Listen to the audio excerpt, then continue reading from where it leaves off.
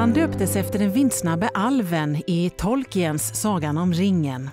Inget namn hade passat bättre för just Legolas. Han var så liten Legolas och han hade så sköra ben att Thomas Nilsson och skötare Lotta Eriksson bara tränade honom försiktigt.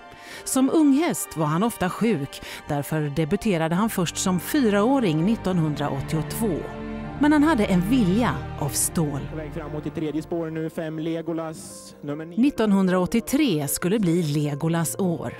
I april startar han i Stora artistpriset på Solvalla. Han är fem år gammal, har gjort 16 starter och han har aldrig förlorat. ATG hade tidigt fått upp ögonen för den lilla fighten från Halmstad och hans bild hade spridits i annonser över hela landet.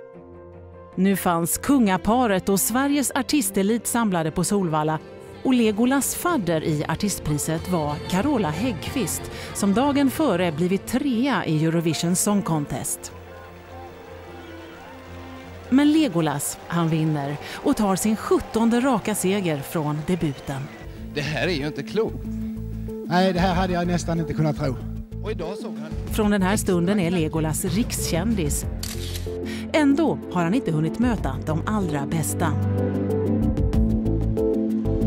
En månad senare vanns Elitloppet av den franska nioåringen Iantin. Men dagen före, under öronbedövande jubel, vinner Legolas silverdivisionen och 18 raka. Loppets prisutdelare är PR-chefen för Roosevelt Raceway i New York. Och tagen av upplevelsen bjuder han in Legolas till VM-loppet. Han vill ha honom obesegrad, men Thomas Nilsson och ägare Marko Anic sätter segerraden på spel med ännu en start. Och när ekipaget presenteras i New York har Legolas 19 raka segrar. And the man with me right now, Thomas Nielsen, is the young trainer and driver of this undefeated horse. Legolas var den minst meriterade hästen i fältet och nu spände han sin båge mot världens bästa hästar.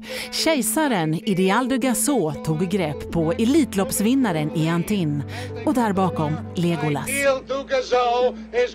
Han fick nosen före Iantin och förlorade bara mot en av tidernas största travare. Men Legolas segerrekord skulle stå sig i 25 år.